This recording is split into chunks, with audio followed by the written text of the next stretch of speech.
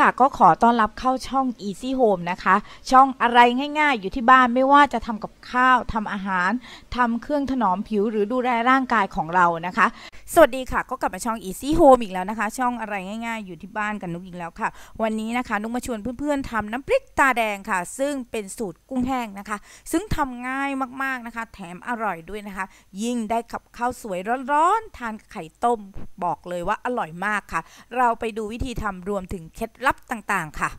ค่ะ เดี๋ยวเราจะคั่วนะคะพริกกระเทียมนะคะ แล้วก็หอมแดงนะคะ โดยระหว่างนี้เราจะพรมน้ำนิดนึงนะคะ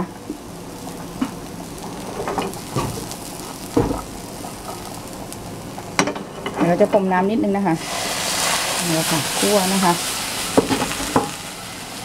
ระหว่างนี้เราต้องย่างกะปินะคะ แล้วก็บดนะคะ ในส่วนของอกุ้งแห้งเรียบร้อยแล้วนะคะ เราจะการทำการคั่วนะคะ ให้ผมน้ำนิดนึงนะคะ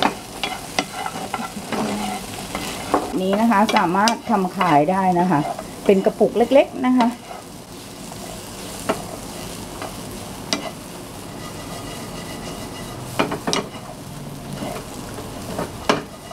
ต้องเตรียมของในการปรุงรสนะคะ ก็มีนะคะ น้ำตาลเอ้ยไม่ใช่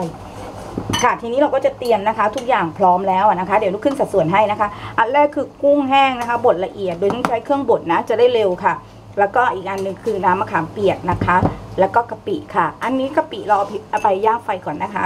ส่วนอีกอันคือนี่นะคะ ก็คือพริกแห้งนะคะ หอมกระเทียมนะคะ ที่เราเอาไปคั่วกับไฟแล้วนะคะ แล้วก็น้ำน้ำตาน้ำปลาแล้วก็น้ำตาลนะคะ เดี๋ยวเราจะทำการบดก่อนนะคะ ในส่วนนี้นุกขี้เกียจตำเนาะ หมองตรง แต่เดี๋ยวนุกจะใช้วิธีตำในขั้นตอนสุดท้ายนะคะ เพราะว่ามันจะต้องมารวมกัน แม่บ้านยุคใหม่อย่างเราก็ใช้เครื่องบดค่ะนะแม่บ้านยุคใหม่แบบเราขี้เกียจค่ะบดนะคะ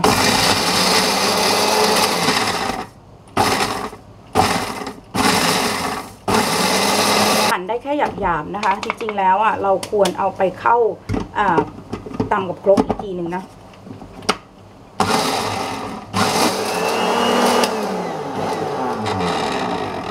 แนะนำเคล็ดลับนิดนึงให้ดูกุ้งแห้งก่อนนะ ว่ากุ้งแห้งมันเค็มมากไหมถ้ามันเค็มนะคะ เราก็ไม่จำเป็นต้องใส่เกลือนะลูกก็เลยไม่ใส่เกลือนะคะ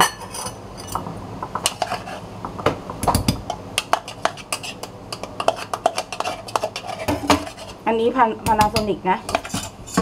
ปั่นนะคะ ซึ่งลูกใช้มานานมากแล้วเราจะตำนะคะ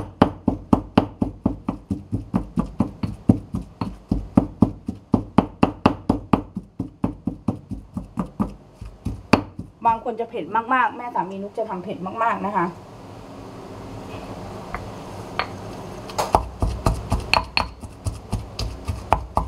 ทีนี้นะคะให้เราใส่กุ้งแห้งนะคะ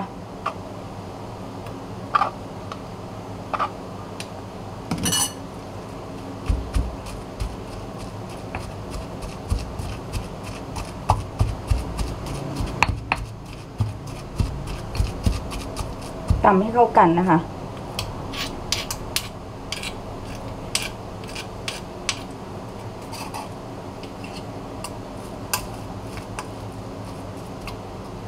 ตามด้วยกะปินะคะ ที่เราย่างไว้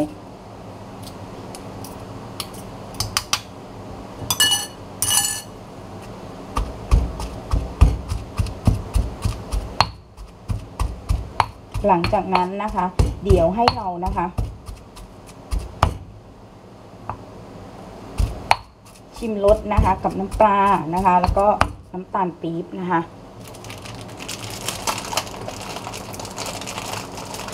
และหลังจากนั้นเราต้องเอาไปผัดต่อนะคะ เพื่อให้มันอยู่ได้นานนะ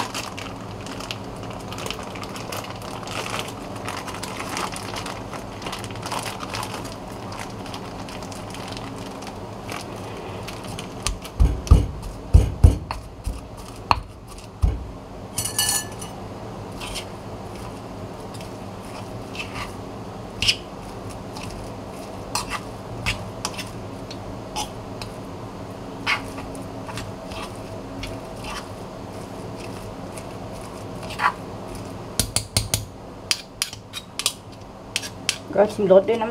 ำปรุงรสด้วยนะคะ อีกอย่างหนึ่งคือน้ำมะขามเปียกนะคะ ซึ่งทีนี้นะคะเพื่อนๆก็สามารถที่จะเอาไปปรุงรสเพิ่มนะคะ ในกระทะได้นะเดี๋ยว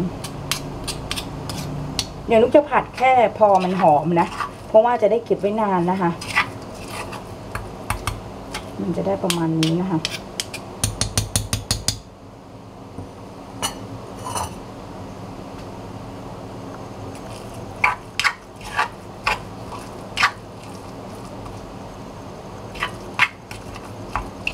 สูตรนี้รับรองอร่อยมากค่ะ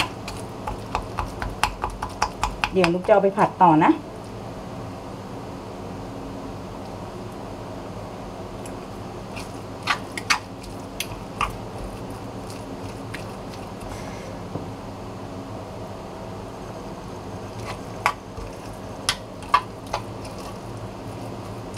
เราใส่น้ำมันนิดนึงนะคะ แล้วก็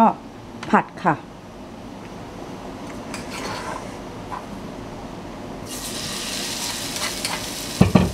เอ้ชิมรสกันนะ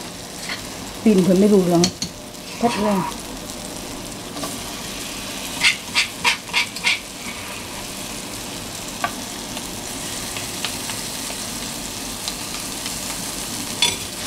เราผัดกันเรื่อยๆนะคะ